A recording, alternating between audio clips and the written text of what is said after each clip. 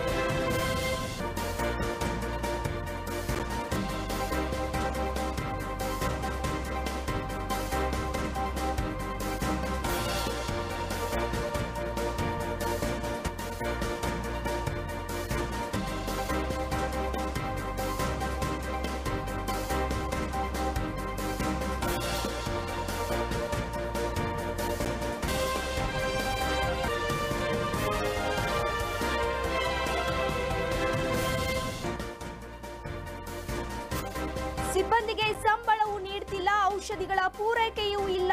ನೋಡಿ, ಇಲ್ಲಿ ಫಾರ್ಮಸಿಸ್ಟ್ ಸಿಬ್ಬಂದಿಗಳಿಗೆ ಪ್ರತಿ ತಿಂಗಳು ಸಂಬಳವೇ ನೀಡ್ತಿಲ್ಲ. ಇಲ್ಲಿ ರೋಗಿಗಳು ಕೂಡ ಪರದಾಡುವಂತಹ ಸ್ಥಿತಿ ನಿರ್ಮಾಣವಾಗಿದೆ. ಯಾಕಂದ್ರೆ ಜನೌಷಧಿ ಕೇಂದ್ರದಲ್ಲಿ ಔಷಧಿ ಸಿಗದೆ ರೋಗಿಗಳ ಪರದಾಟ ಅಲ್ಲಿ ಆಗಿದೆ. ಇನ್ನು ಕೋಟಗೆರೆ ಪಟ್ಟಣದ ಪ್ರಧಾನಮಂತ್ರಿ ಔಷ್, ಜನೌಷಧಿ ಕೇಂದ್ರಕ್ಕೆ ಬೀಗ ಹಾಕಿದ್ದಾರೆ. ಮೂರು ತಿಂಗಳಿಂದ ಬೀಗ ಹಾಕಿದ್ದಾರೆ ಅನ್ನೋದು ಅಲ್ಲಿ ಆರೋಪ ಕೇಳಿ ಬಂದಿದೆ. ಇನ್ನು ಸಂಬಳವಿಲ್ಲದೆ ರಾಜೀನಾಮೆ ನೀಡಿದ ಫಾರ್ಮಸಿಸ್ಟ್ ಸಿಬ್ಬಂದಿ ಕಿರಣ್ ನೋಡಿ, ಸಂಬಳ ಕೇಳಿದ್ರೆ ಸಬೂಬು ಉತ್ತರನ್ನ ಕೊಡ್ತಾರೆ. ಆದ ಕಾರಣಕ್ಕಾಗಿ ನಾನು ರಾಜೀನಾಮೆನ ನೀಡಿದ್ದೀನಿ ಅಂತ ಅಲ್ಲಿ ಕಿರಣ್ ಈಗಾಗಲೇ ಹೇಳಿದ್ದಾರೆ. ಇನ್ನು ಎಂಎಸ್ಎಲ್ಐ ವ್ಯವಸ್ಥಾಪಕರಿಗೆ ರಾಜೀನಾಮೆ ನೀಡಿರುವ ಫಾರ್ಮಸಿಸ್ಟ್, ಔಷಧಿಯ ಪೂರೈಕೆ ಇಲ್ಲದೆ ಪ್ರತಿನಿತ್ಯ ಜನೌಷಧಿ ಸಿಬ್ಬಂದಿ ಪರದಾಡುವಂತಹ ಸ್ಥಿತಿಯಲ್ಲಿ ನಿರ್ಮಾಣವಾಗಿದೆ. ಆರೋಗ್ಯ ಇಲಾಖೆಯಿಂದ ಪ್ರತಿನಿತ್ಯ ಔಷಧಿ ಪೂರೈಕೆಗೆ ಸಿಬ್ಬಂದಿಗೆ ಒತ್ತಡ ಆಗಿತ್ತು ಅಲ್ಲಿ. ಸಂಬಳನ್ನ ಕೇಳಿದ್ರೆ ಕೊಡೋದಿಲ್ಲ. ಏನಾದ್ರೂ ಒಂದು ಉತ್ತರ, ಹಾರಿಕೆ ಉತ್ತರನ ಹೇಳ್ತಾರೆ. ಆದ ಕಾರಣಕ್ಕಾಗಿ ನಾನು ರಾಜೀನಾಮೆನ ಕೊಟ್ಟಿದ್ದೀನಿ ಅಂತ ಹೇಳಿದಾಗ ಮತ್ತೆ ಇಲ್ಲಿ ಮರು ನೇಮಕ ಮಾಡಬೇಕಾಗಿತ್ತು. ಕೋಟಗೆರೆ ಆರೋಗ್ಯ ಇಲಾಖೆ ಆದ್ರೆ ಮಾಡಿಲ್ಲ, ಅಲ್ಲಿ ಮರು ನೇಮಕ ಮಾಡಿಲ್ಲ. ಅಲ್ಲಿ ಬಡ ರೋಗಿಗಳು ಔಷಧಿಗಾಗಿ ಪರದಾಡುವಂತಹ ಸ್ಥಿತಿ ನಿರ್ಮಾಣವಾಗಿದೆ. ನೋಡಿ, ಈಗ ಔಷಧಿಗೋಸ್ಕರ ಅಲ್ಲಿ ಎಷ್ಟು ಬಡ ರೋಗಿಗಳು ಅಲ್ಲೇ ಇದ್ದಾರೆ. ಯಾರು ಕೂಡ ಇಲ್ಲಿ ಹೇಳೋರಿಲ್ಲ, ಏನೂ ಇಲ್ಲ. ಆರೋಗ್ಯ ಇಲಾಖೆಯ ಒಳ ಒಪ್ಪಂದದಿಂದ ಔಷಧಿ ಸಮಸ್ಯೆಗೆ, ಸಮಸ್ಯೆಯು ಕೂಡ ಇಲ್ಲಿ ದ್ವಿಗುಣವಾಗಿದೆ. ಇನ್ನು ಮೂರು ತಿಂಗಳಿಂದ ಕೊಟಗೆರೆ ಪ್ರಧಾನಿ ಜನೌಷಧಿ ಕೇಂದ್ರಕ್ಕೆ ಬೀಗ ಹಾಕಿದ್ದಾರೆ. ನೋಡಿ, ಈಗ ಬೀಗ ಹಾಕಿರೋದು ನಿಮಗೆ ಕಾಣಿಸ್ತಿದೆ.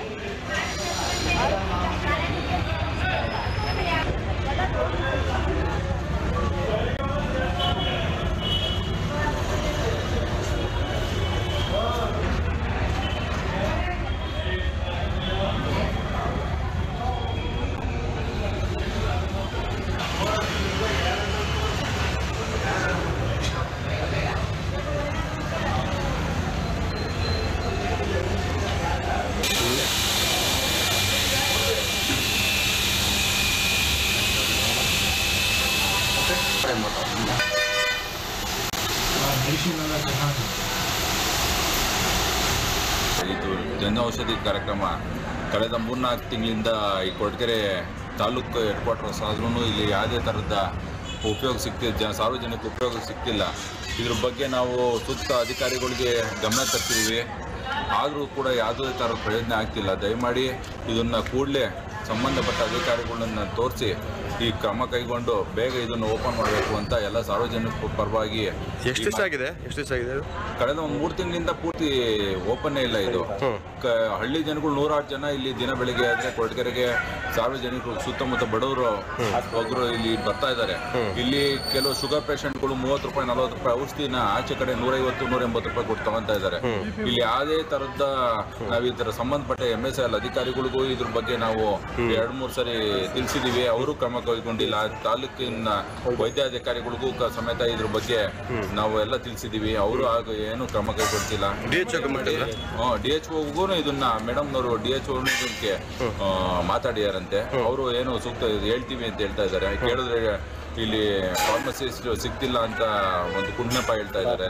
ದಯಮಾಡಿ ಇದನ್ನ ಕೂಡಲೇ ಇದನ್ನ ಸಂಬಂಧಪಟ್ಟ ಅಧಿಕಾರಿಗಳೊಂದಿಗೆ ತಿಳಿಸಿ, ಇದು ಸಾರ್ವಜನಿಕರ ಸೇವೆಗೆ ಅವಕಾಶ ಮಾಡಿಕೊಡ್ಬೇಕು ಅಂತ ಸಾರ್ವಜನಿಕರ ಪರವಾಗಿ ಮಾಧ್ಯಮ ತಿಳಿಸ್ತಾ ಇದ್ದೀವಿ ಇಲ್ಲಿ ಇದು ಜನೌಷಧಿ ಏನಿದೆ, ಈ ಜನೌಷಧಿ ಬಾಗ್ಲಾಕಿ ಸುಮಾರು ಆಗಲಿ ಒಂದು ಮೂರು ತಿಂಗಳ ಮೇಲಾಯ್ತು ಅದಕ್ಕೂ ಮುಂಚೆ ಒಂದು ಆರು ತಿಂಗಳು ಬಾಗ್ಲಾಕೊಂಡಿದ್ರು ಏನು ಇಲ್ಲಿ ನಡೆಸ್ತಾ ಇರ್ತಕ್ಕಂಥವ್ರು ಸರಿಯಾಗಿ ನಡೆಸ್ತಿಲ್ಲ ಅನ್ನೋ ಕಾರಣಕ್ಕೆ, ಇಲ್ಲಿ ಔಷಧಿಗಳು ಸಿಕ್ತಿಲ್ಲ ಅನ್ನೋ ಕಾರಣಕ್ಕೆ ಬಾಗ್ಲಾಕಿದ್ವಿ ಮೊನ್ನೆಯಿಂದ ನಾವು ಹೇಳ್ತಾನೆ ಇದ್ದೀವಿ, ಇಲ್ಲಿರ್ತಕ್ಕಂಥ ಆರೋಗ್ಯ ಇಲಾಖೆ ನಿಜವಾಗ್ಲೂ ಖಂಡಿತ ಕಣ್ಮುಚ್ಕೊಂಡು ಕೊಡ್ತಾ ಇದೆ.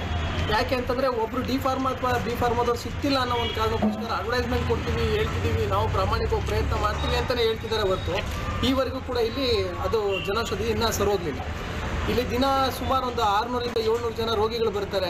ಎಲ್ಲರೂ ಕೂಡ ಹೊರಗಡೆ ಖಾಸಗಿ ಅವ್ರಿಗೆ ಹೋಗಿ ದುಡ್ಡು ಕೊಡೋಂಥ ಪರಿಸ್ಥಿತಿ ಬಂದಿದೆ. ಇವತ್ತಿನ ದಿನ ಬಿ ಪಿ ಅಥವಾ ಶುಗರ್ ಟ್ಯಾಬ್ಲೆಟ್ಗಳನ್ನ ಕೇಳೋದಕ್ಕೆ ಅದ್ರ ರೇಟ್ ಕೇಳಿದ್ರೆ ನಿಜವಾಗ್ಲೂ ತಲೆ ಸುತ್ತುತ್ತೆ.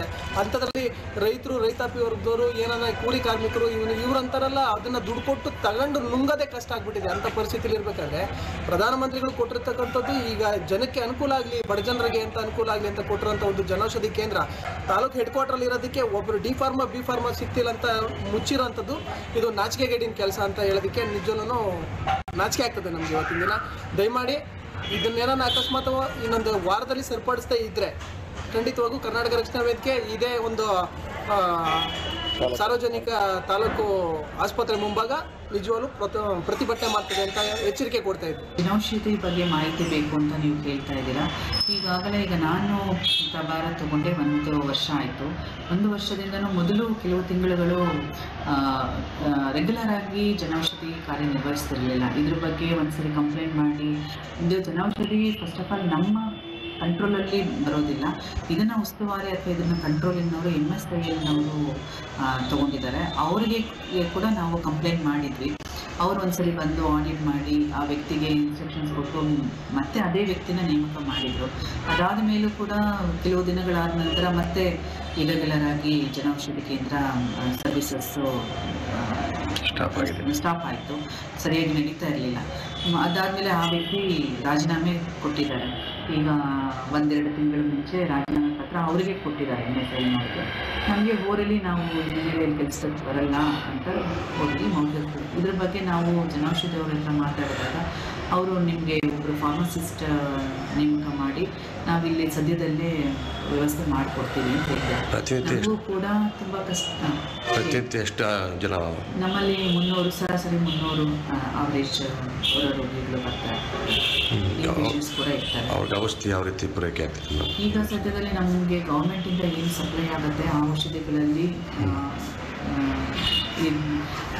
ನಮ್ಮ ಉಗ್ರಾಣದಲ್ಲಿ ಸಿಗುವ ಔಷಧಿಗಳಲ್ಲಿ ಮತ್ತು ಕೆಲವೊಂದು ತಕ್ಕ ಮಟ್ಟಿಗೆ ಬಜೆಟ್ ರಿಲೀಸ್ ಆಗಿರುತ್ತೆ. ಅದರಲ್ಲಿ ನಾವು ಮಿನಿಮಮ್ ಏನು ಬಳಸ್ತಿರೋದು ಇಷ್ಟರಲ್ಲೇ ನಡೆಸ್ತಿದ್ದೀವಿ ಬಟ್ ಇಷ್ಟರಲ್ಲೇ ನಾವು ಒಂದು ಸಾರ್ವಜನಿಕ ಆಸ್ಪತ್ರೆ ತಾಲೂಕು ಆಸ್ಪತ್ರೆ ನಡೆಸೋದು ಕಷ್ಟ ಆಗುತ್ತೆ. ಜನೌಷಧಿ ಮಳಿಗೆ ಮಸ್ಟ್ ಬೇಕೇ ಬೇಕಾಗುತ್ತದೆ ನಾವು ಎಲ್ಲ ಔಷಧಿಗಳು ಸಪ್ಲೈ ಇರೋದಿಲ್ಲ ಕೆಲವೊಂದು ಡ್ರಗ್ಸ್.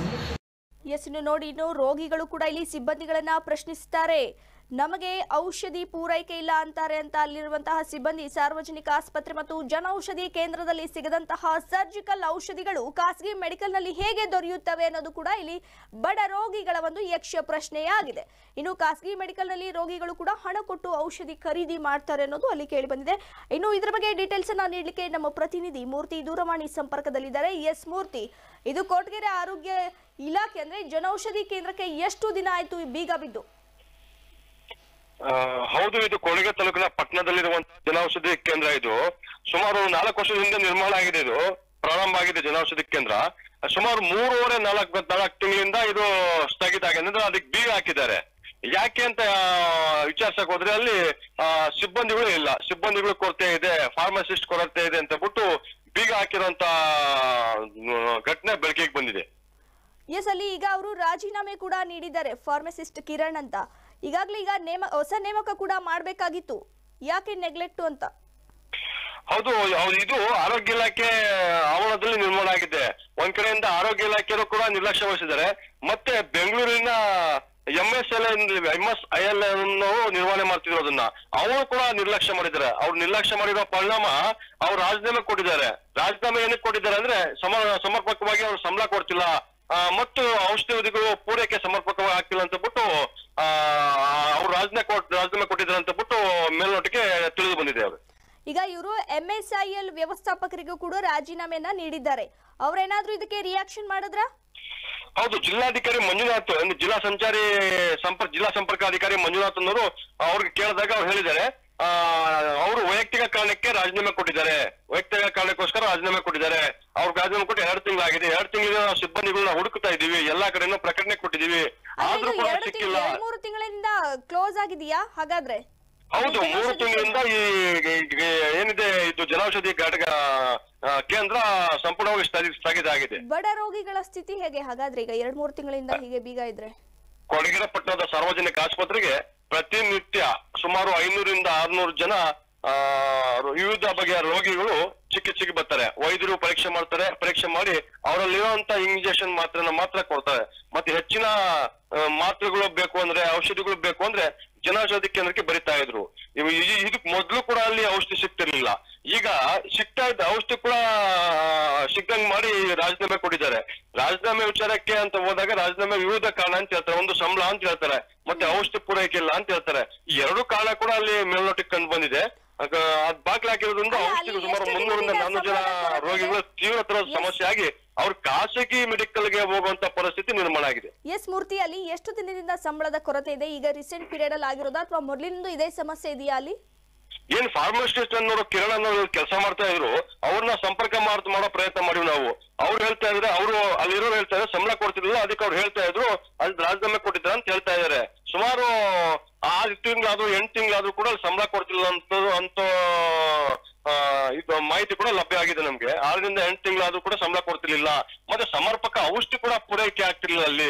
ಏನಿದೆ ಜನೌಷಧಿ ಕೇಂದ್ರಕ್ಕೆ ಸಮರ್ಪಕ ಔಷಧಿ ಕೂಡ ಲಭ್ಯ ಆಗ್ತಿರಲಿಲ್ಲ ಅನ್ನೋ ಮಾಹಿತಿ ಕೂಡ ಲಭ್ಯ ಆಗಿದೆ. ಅಲ್ಲ ಇದಕ್ಕೆ ಲೀಗಲ್ ಆಗಿ ಯಾರು ಪ್ರತಿಭಟನೆ ಮಾಡಲು ಮುಂದಾಗ್ಲಿಲ್ವಾ? ಎಂದು ಕನ್ನಡ ಸಂಘಟನೆಗಳು ಮತ್ತೆ ಸ್ಥಳೀಯರು ಸುಮಾರು ಸತಿ ಹೋಗಿ ಮನವಿ ಮಾಡಿದ್ದಾರೆ. ಮನವಿ ಮಾಡಿ ಕೂಡ ಆರೋಗ್ಯಾಧಿಕಾರಿಗಳು ಮತ್ತೆ ಟಿ- ಇಲ್ಲಿರೋ ಅಂತ ತಾಲೂಕ್ ಮಟ್ಟದ ತಾಲೂಕು ಆರೋಗ್ಯ ಆರೋಗ್ಯಾಧಿಕಾರಿಗೂ ಕೂಡ ಲೆಟರ್ ಬರೆದಿದ್ದಾರೆ. ಜಿಲ್ಲಾ ಜಿಲ್ಲಾ ಮಟ್ಟದ ಟಿ ಎಚ್ ಲೆಟರ್ ಬರೆದಿದ್ದಾರೆ. ಲೆಟರ್ ಬರೆದು ಕೂಡ ಅದು ಫಲ ಕೊಟ್ಟಿಲ್ಲ. ಅಂದ್ರೆ ಫಲಶ್ರುತಿ ಕೊಟ್ಟಿಲ್ಲ. ಅವರು ಕೂಡ ಸಮರ್ಪಕವಾಗಿ ಕ್ರಮ ಕೈಗೊಳ್ಳಲು ಸಂಪೂರ್ಣವಾಗಿ ಫಲ ಆಗಿದ್ದಾರೆ. ಎಸ್ ಓಕೆ ಮೂರ್ತಿ, ಧನ್ಯವಾದಗಳು. ತಮ್ಮ ಮಾಹಿತಿಗಾಗಿ ಎಸ್ ನೋಡಿ, ನಾವು ಇಲ್ಲಿ ಮನವಿಯನ್ನ ಮಾಡಿದ್ರು ಕೂಡ ನಾವು ಆದಷ್ಟು ಅವರ ಗಮನಕ್ಕೂ ಕೂಡ ತಂದಿದ್ವಿ. ಆದರೆ ಯಾವುದು ಇಲ್ಲಿ ಪ್ರಯೋಜನ ಇಲ್ಲ. ಈಗ ಬಡ ರೋಗಿಗಳ ಸ್ಥಿತಿಗತಿಗಳು ಯಾರು ಇಲ್ಲಿ ಕೇಳೋರು ಇಲ್ಲ, ಏನೂ ಇಲ್ಲ. ಮೂರು ತಿಂಗಳಿಂದ ಹೀಗೆ ಬೀಗ ಹಾಕಿದ್ದಾರೆ. ಕೇಳಿದ್ರೆ ನಾವು ಎರಡು, ಮೂರು ತಿಂಗಳಿಂದ ಅಂದ್ರೆ ಇಲ್ಲಿ ಕೆಲಸಗಾರನ ನೋಡ್ತಾ ಇದ್ದೀವಿ, ಹೊಸ ನೇಮಕವನ್ನ ಮಾಡ್ಕೊಳ್ತಾ, ಮಾಡ್ಕೊಳ್ತೀವಿ ಅಂತ ಹಾರಿಕೆ ಉತ್ತರನ ಕೊಡ್ತಾರೆ. ಆದ್ರೆ ಇಲ್ಲಿವರೆಗೂ ಯಾರು ಕೂಡ ಬಂದಿಲ್ಲ. ಇದು ಬೀಗ ಹಾಗೆ ಇದೆ. ಬಡ ರೋಗಿಗಳು ಇಲ್ಲಿ ಖಾಸಗಿ ಮೆಡಿಕಲ್ಗೆ ಹೋಗಿ ಹಣ ಕೊಟ್ಟು ಔಷಧಿಯನ್ನ ಖರೀದಿ ಮಾಡುವಂತಹ ಪರಿಸ್ಥಿತಿಲಿ ನಿರ್ಮಾಣವಾಗಿದೆ ಅಂತ ಹೇಳಿದ್ರು. ಆದಷ್ಟು ಅಧಿಕಾರಿಗಳು ಮಾತ್ರ ಸುಮ್ಮನಿರಬಾರ್ದು ಆರೋಗ್ಯ ಇಲಾಖೆಗೆ ಇದು ಮುಖ್ಯವಾಗಿ ಇದು ಗಮನ ಹರಿಸಬೇಕು. ಯಾಕಂದ್ರೆ ಬಡ ರೋಗಿಗಳ ಜೊತೆಗೆ ಇದು ಚೆಲ್ಲಾಟ ಮಾಡಿದ ಹಾಗಾಗತ್ತೆ